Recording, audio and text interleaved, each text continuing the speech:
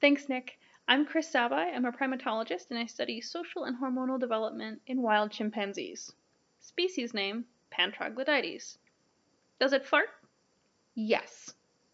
Chimpanzees are the closest living relative to humans, and in addition to sharing 98% of our DNA, chimps also share our ability to fart. In fact, chimpanzees fart loudly, often, and without shame.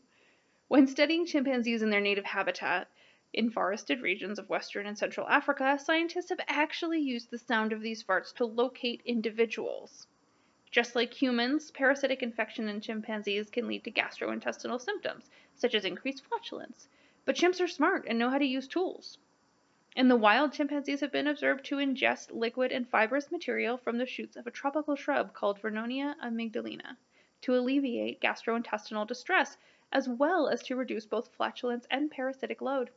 Researchers at Yale have, adopt, have developed a cracker to provide captive chimpanzees with their necessary nutritional needs, but this supplement was found to have a very interesting side effect the almost complete elimination of all chimpanzee farts. This occurs as a byproduct of the cracker's high calories. Captive chimps would eat a smaller amount of food and had to chew for longer, which reduces gas buildup in the intestines. Given their affinity for farts, we can only assume that the zookeepers responsible for caring for these chimps were quite pleased with this side effect. And now that you know all about chimp farts, I'll pass it on to Kim Landsbergen to tell you about silver spotted skipper farts.